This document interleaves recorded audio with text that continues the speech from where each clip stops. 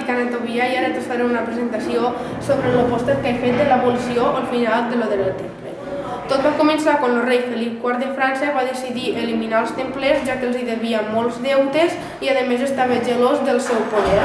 Així que es va reunir amb el papa Climent V per emetre una butlla papal en la qual encomanava tots els reis europeus cristians que encarcelessin els templers de les seves terres. Poc després, tots els templers van ser arrestats i cremats a la foguera acusats d'heretgia. Amb ells, Jaques de Molay, l'últim mestre del temple. Jaques de Molay va ser cremat a la, a la, davant de la catedral de Notre Dame eh, i just abans de ser cremat va llançar un malefici que deia que abans de que s'acabés l'any, el Felip IV i el Climent moririen, i així va ser.